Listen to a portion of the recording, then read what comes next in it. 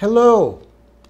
The video you're watching is the third of a three-part series about the short story The Feeling of Power by science fiction writer Isaac Asimov. This is an independent video, but to better understand the context, I recommend that you watch the first part in which I present the story plot and make a short review of it. And the second part of the series, which is about students cheating with calculators.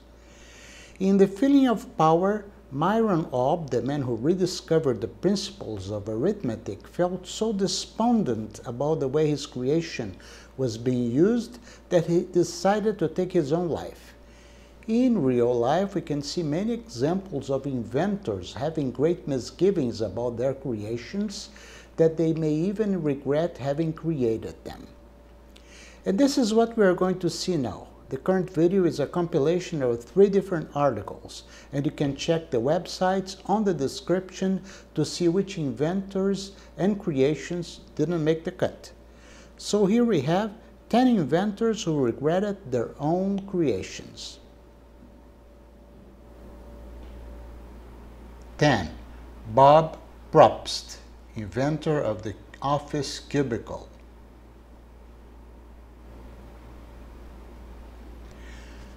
While working as a consultant for Herman Miller in the 1960s, Bob Propst introduced America to the open plan office and with it the office cubicle. It was, he told the New York Times in 1997, designed to give knowledge workers a more flexible, fluid environment than the rat maze boxes of offices.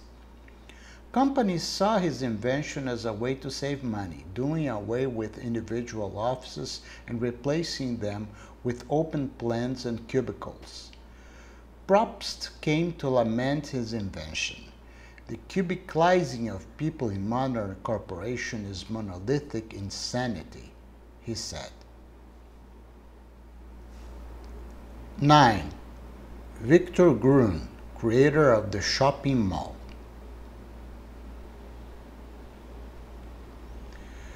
Back when cities were smaller and more concentrated, everyone lived downtown, so everyone was close to all the shops. But as suburbs developed, it became harder and harder for people living outside the city core to shop. In 1954, Victor Gruen's solution first appeared in Detroit. It was meant to be a communal area where people could easily walk around and do all their shopping and other errands. It was meant to have green spaces, art, and other happy things. It was a shopping mall. It caught on like gangbusters. Then some smarty pants decided it would be even better if it was enclosed in a single building and if all the green spaces and art and pretty things were removed to make room for more stores, it became the shopping mall we know today. Gruen, the father of the shopping mall, was appalled. In 1978, he said, I would like to take this opportunity to disclaim paternity once and for all. I refuse to pay alimony to those bastard developments they destroyed our cities. He died in 1980, and perhaps mercifully. One can't help but wonder what he would have thought of things like Black Friday and online shopping. 8. Philo Farnsworth, inventor of the television. Philo Farnsworth was only 14 when he conceived of the television. He thought it would help people by enabling them to learn about each other and settle world problems. Farnsworth died in 1971, which was plenty long enough to see how his invention was really used. He died feeling that instead of learning and enriching their lives through it, people just wasted them watching it instead. He told his son, There's nothing worthwhile on it, and we are not going to watch it in this household, and I don't want it in your intellectual diet. 7. Wally Conron, creator of the Labradoodle.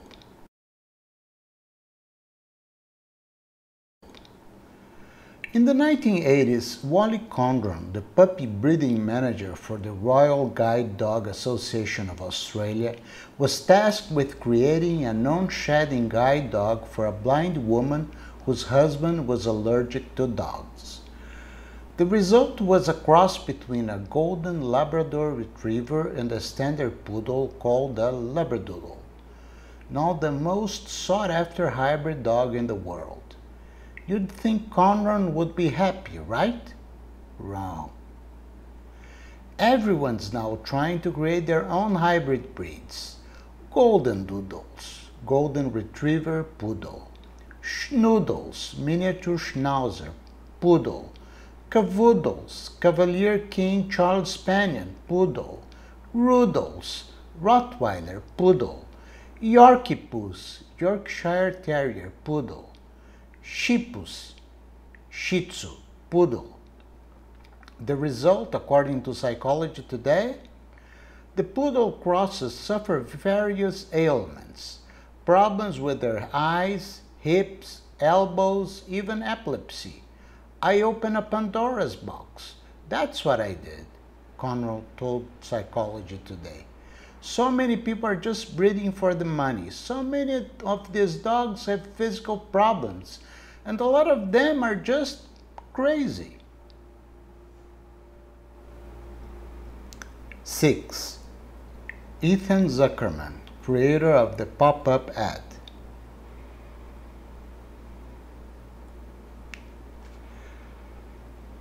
Ethan Zuckerman says he had the best of intentions when he invented the pop-up ad back in the 1990s. The internet was still fairly nascent, but it was clear that the future was advertising.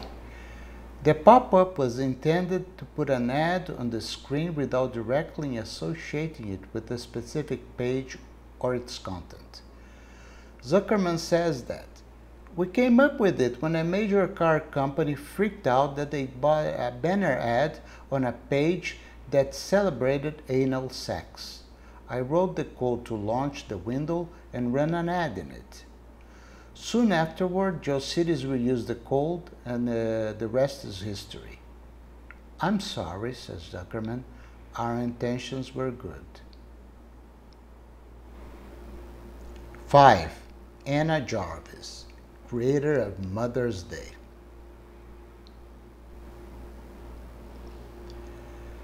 Anna Jarvis loved her mother and she knew that other people did too. But she didn't love how moms largely went unrecognized and unappreciated. So she set out to do something about it. And that's how Mother's Day came to be. The first one was in 1908 at her church. She chose white carnations as a symbol because they were her own mother's favorite flower. Jarvis was a virulent letter writer, and she campaigned hard to promote the day. It caught on fast, and as quickly as 1914, the second Sunday in May was legislated to be Mother's Day. At the start, carnations were two for a penny. As quickly as four years later, they were 15 cents. And then the greeting card companies got involved and the chocolatiers. Anna Jarvis was appalled. What had started as a day for sentiment had become a day for profit. She did an abrupt about face and turned her letter writing prowess against the beast she had unleashed. But it was too late. Mother's Day was here to stay. She died in 1948, still regretting her creation. She never had children and was not herself a mother. 4. John Sylvan, creator of the Keurig K-Cup coffee capsules.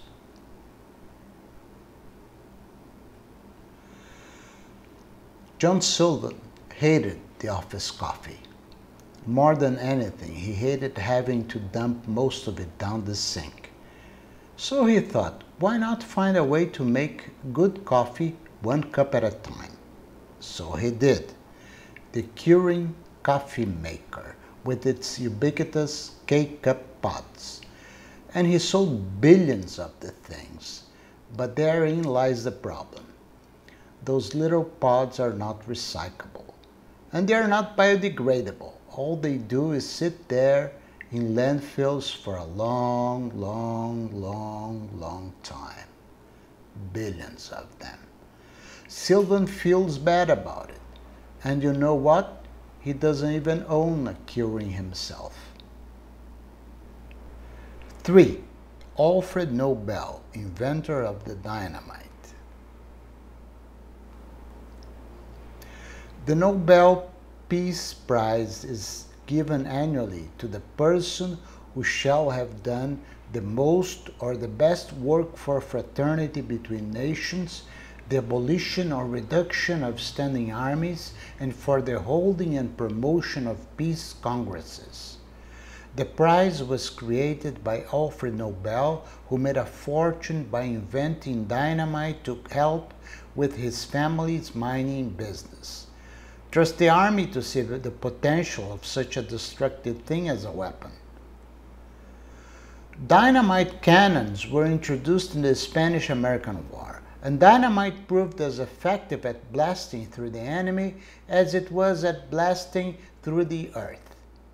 Interestingly, Nobel didn't come out against its use as a weapon until he read his own obituary. In 1888, his brother Ludwig died but the papers made a mistake and thought it was Alfred who had died. The obituary said that the merchant of death is dead and claimed that Nobel became rich by finding ways to kill more people faster than ever before. The Nobel Prize was established in Alfred Nobel's last will and testament in an effort to rehabilitate his own reputation. 2. Mikhail Kalashnikov, creator of the AK-47.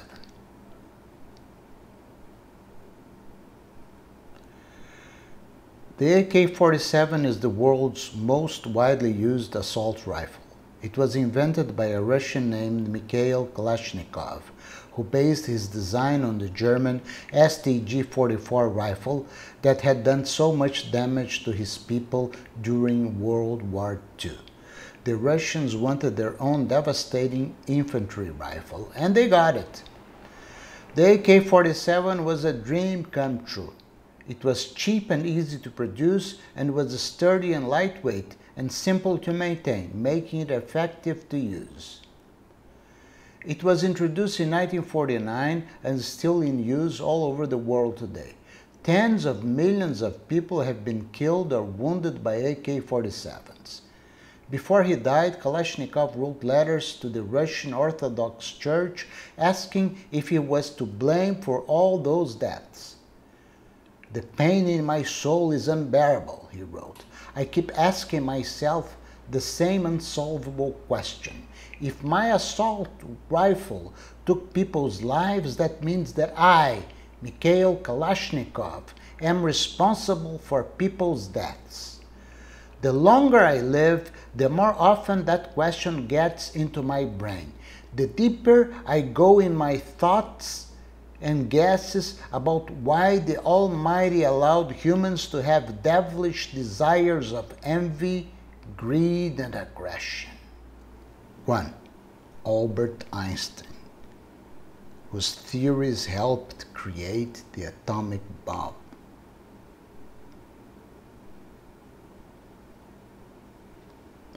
Einstein's famous equation, E equals mc squared, was the roadmap scientists needed to build the atomic bomb.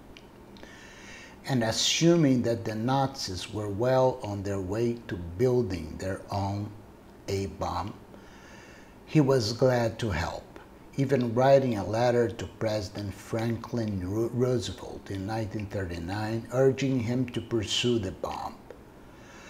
But the destruction of Hiroshima and Nagasaki horrified Einstein. In 1947, he lamented to Newsweek that if he had known that the Germans would not succeed in developing an atomic bomb, I would have done nothing. So, did you enjoy the list? Which was your favorite invention? Leave your answer in the comments. Mine, because of my love for animals, I think was the Labradoodle. Yeah, yeah. Definitely the Labradoodle. Nice pooch. Well, well. That's it for now. As always, give this video a like or a dislike if you really have to. And don't forget you can leave a comment if you have anything constructive to add. And if you like my work and want to help the channel, subscribe and hit the notification bell. Next video I'll be covering an entirely different short story. I already have something in mind, but is there a story you'd like to have me analyze instead? Which one? Give that in the comments. I'll be waiting for you for another adventure. See you all then.